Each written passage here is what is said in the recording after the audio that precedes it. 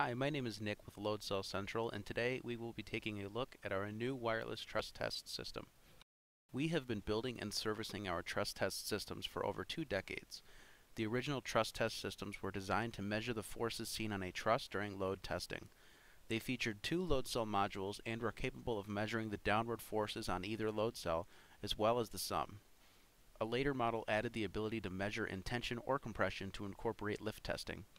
In addition to the features of the previous generation, the new truss test introduces wireless telemetry, PC connectivity, data logging to a CSV file, custom test reports, and optional deflection measurements. Our new system continues to use our LCS9 5K load cells, as well as our Duramount 3E-S1 load cell mount. Wireless transmission is handled by the T24-ACMI-SA. By utilizing the same T24 telemetry system as in our other wireless products, you will have the ability to add any of our other wireless receivers. This will enable use of our handheld displays, serial transmitters for use with RS-232 or RS-485, relay modules, or analog output. Optional deflection measurements are handled by our P510 string potentiometer and T24-ACMI-RA. These wireless signals are received by a USB base station, the T24-BSU. The Log100 software includes a custom workspace file. The channel's screen shows us measurements for forces and deflection. Included on this screen are peak, valley, and sum readings.